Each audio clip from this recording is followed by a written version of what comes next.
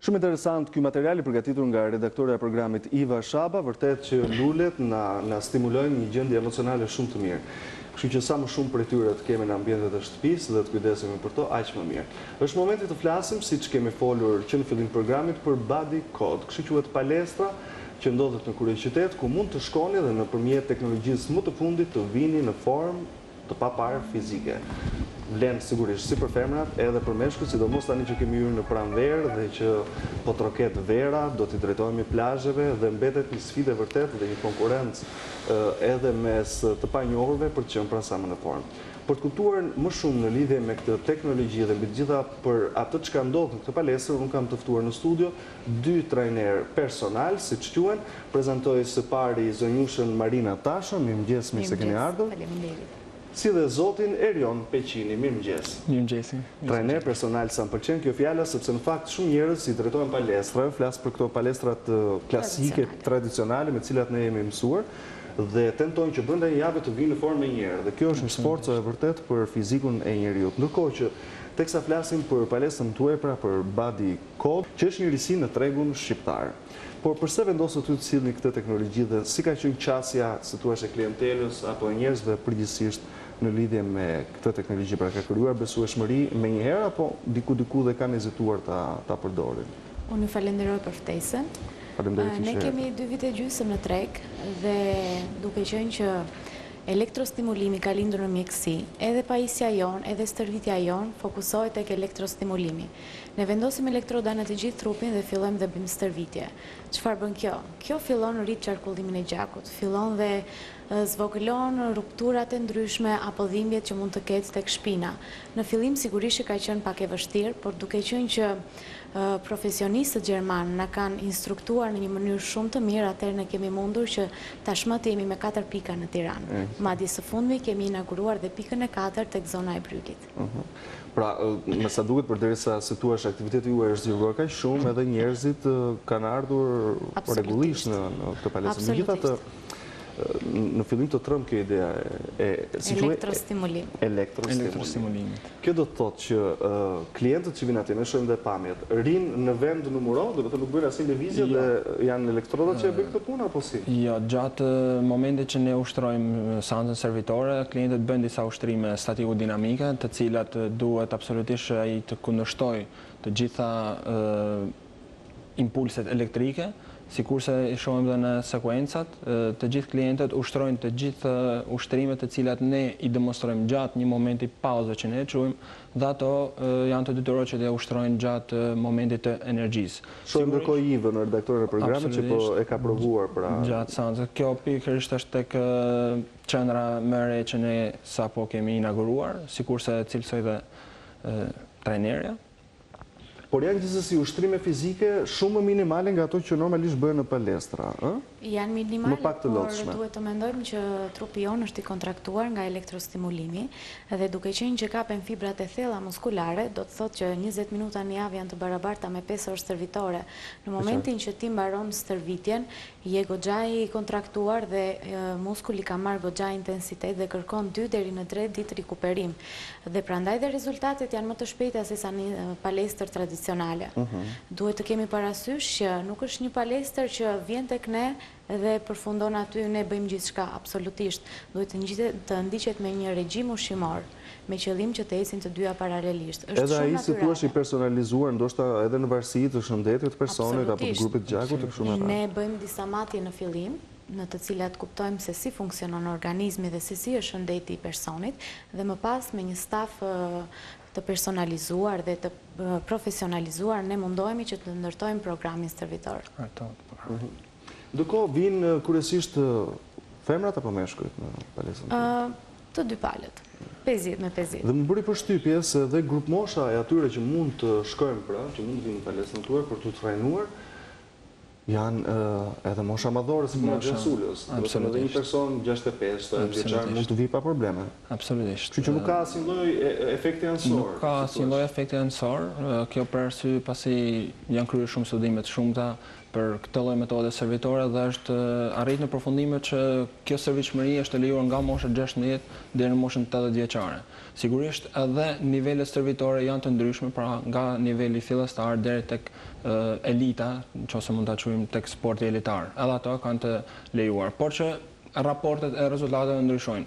Sigurisht edhe mosha e tretë e aplikon këtë lloj stërvitje, pasi qëllimi jonë është që ato të kalojnë një jetë ato vite sa më shëndetshëm, sa më healthy dhe normalisht kërkojmë që të kenë një lloj fuqizimi në thonjëza pasi dihet që mosha e tyre është në dekadencë dhe performanca e tyre fizike normalisht e ka këtë këtë problem dhe ideja dhe qëllimi jonë është që ne ta mbajmë ose më saktë ta frenojmë këtë dekadencë që shfaqet në këtë moshë të tretë. Qëllimi i tyre qëllimi i stërvitjes sonë është që ato të ndjehen sikurse thashë më healthy dhe të krijojmë një tonus pak më të lartë të masës muskulare e cila e merr pak më mirë sesa sesa raportet tjera fiziologjike. Jo më çasu më jo. Është staf i kualifikuar, ju jeni të kualifikuar apo jo? Janë të trajnuar siç e thamë në Gjermani përkatësisht ku edhe me sa duket është vjen teknologjia nga Gjermania. Është teknologji gjermane, kështu që një teknologji e sigurt. I gjithë stafi është që ka përfunduar studimet në Universitetin e Sporteve dhe në masterat përkatës, gjithashtu kemi bërë dhe specializimin dhe trajnimin në fushën e elektrostimulimit.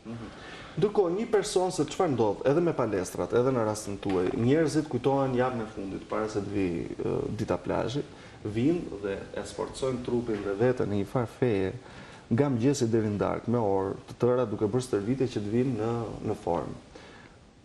Si duhet të ndodhë për të për të ardhur sa më natyrshëm dhe sa më shëndetshëm forma fizike, ëh, pa pa u sforcuar? Sa orë në javë ose sa herë në javë duhet që një person të ushtrojë? Palestra jonë është e rekomanduar një herë ose dy herë në javë. Dhe normalisht që trupi fillon reagon ngadalë.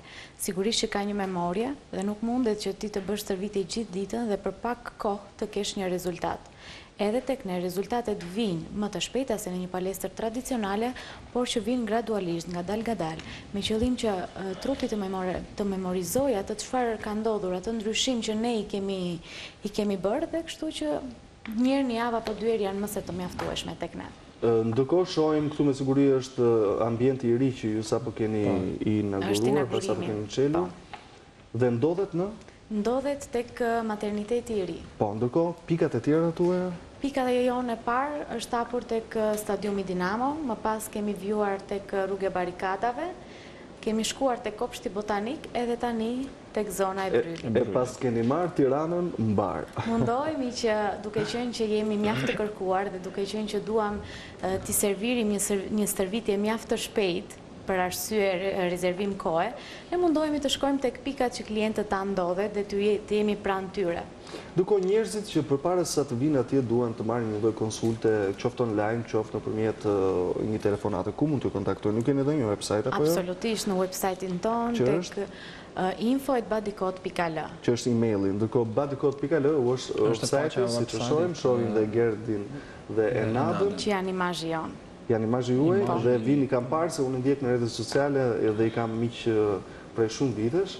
Ata janë padyshim në formë edhe për shkak të profesionit të tyre, po kjo tregon që edhe pse jemi në formë, body code ndikon në fakt edhe në mirëqenien e shëndetit në tërësi, por besoj si palestrat e tjera edhe në mirëqenien psikologjike, mendore, për të qenë më optimist në një Është një shkarkesë maksimale. Emocionale dhe energjive që kalon gjatë ditës.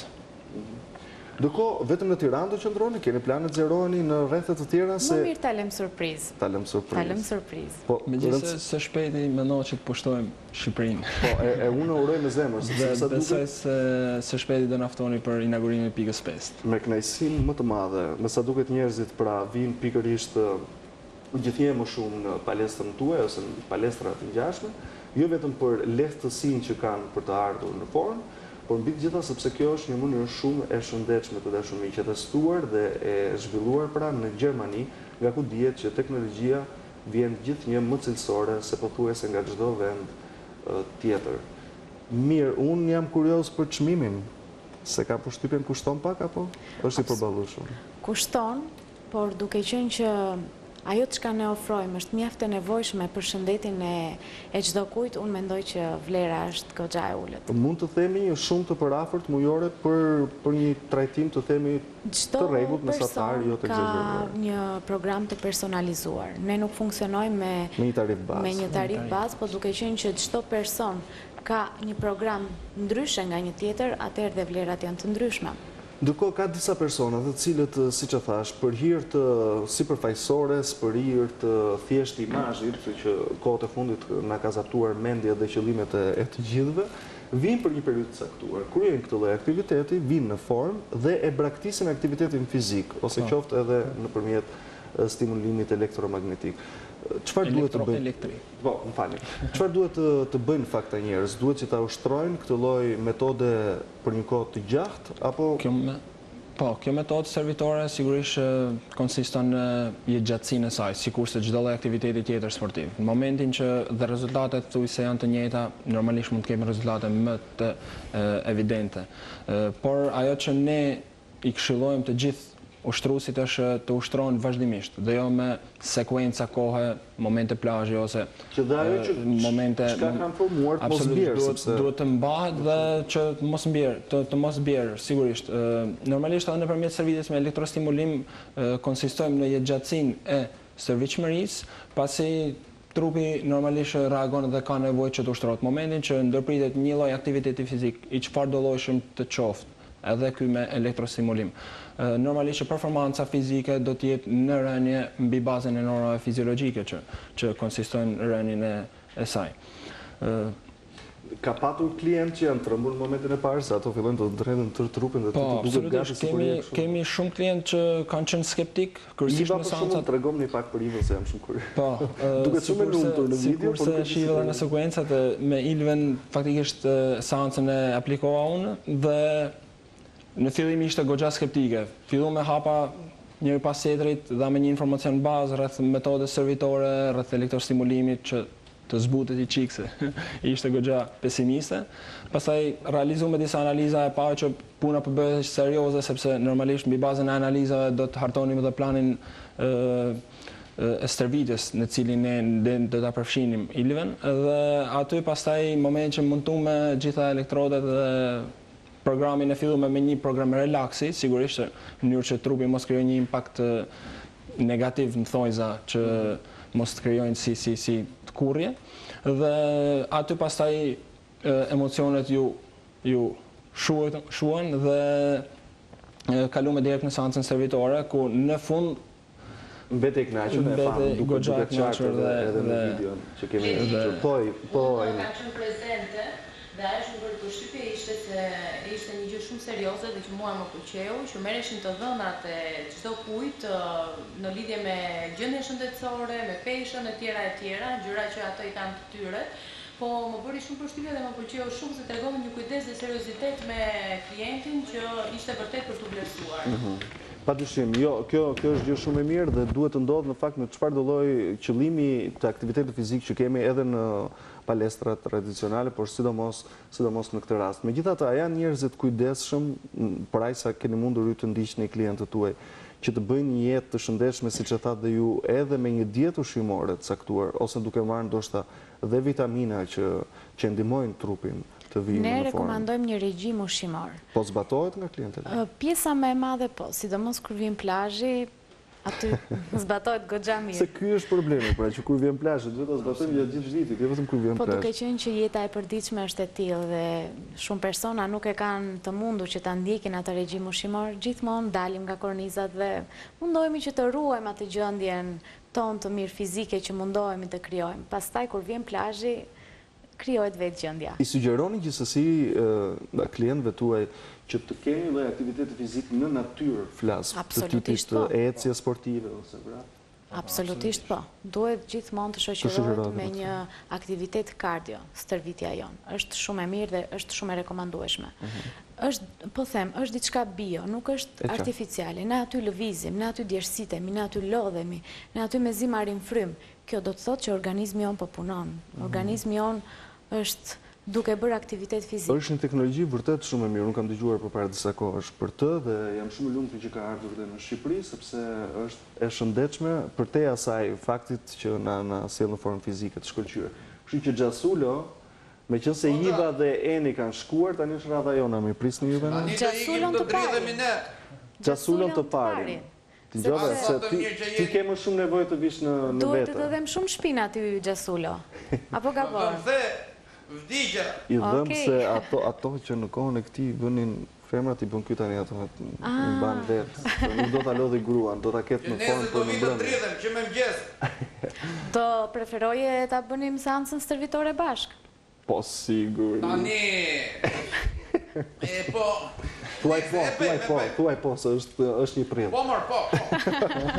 E bëj. Mirë, ju falenderoj shumë që ishit këtu. Të dashur miq, bodycode.al është website ku ju mund të hyni, të shikoni më hollësisht Më hollësishëm të gjitha informacionet pra në lidhje me këtë teknologji që ju sjell vërtet në formë shumë të mirë fizike, emocionale dhe mendore. Falenderoj ndërkohë zonjushën Marina Tasho dhe zotin Erion Peqini, trajner personal pra pranë Body Code, ku mund të shkoni dhe të ushtroni një aktivitet fizik në kushte.